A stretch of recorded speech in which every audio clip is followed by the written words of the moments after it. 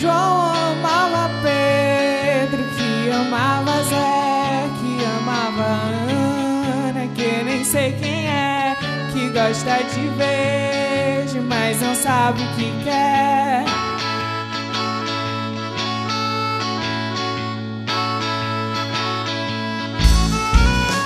Vai se declarar na quarta-feira. Se fosse ele, não fazia saber.